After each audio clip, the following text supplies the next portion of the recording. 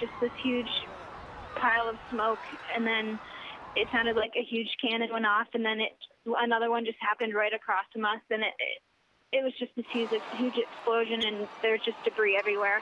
Big, huge explosion while we were having lunch, and everybody ran for the doors and windows, and we were sheltered under oh tables. When it hit the elevator, the elevator shook the whole building. It was quite a blast. Two of them scared the hell out of us. These explosions occurred 50 to 100 yards apart, and uh, each scene uh, resulted in multiple uh, casualties. Explosion looked like it was right outside the Marathon Sports, you know, right by the finish line there, or the building next to it. We have seen at least uh, six people come in. You can see some of the people coming in on stretchers.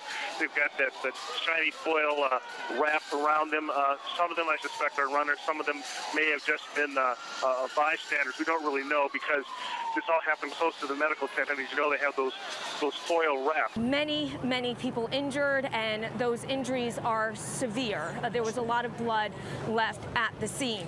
Uh, we helped uh, low casualties. We put we're picking them up, uh, putting pressure on wounds.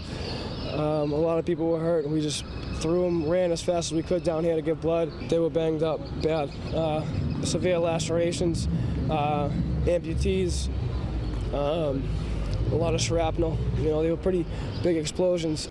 We still do not know who did this or why. And people shouldn't jump to conclusions before we have all the facts.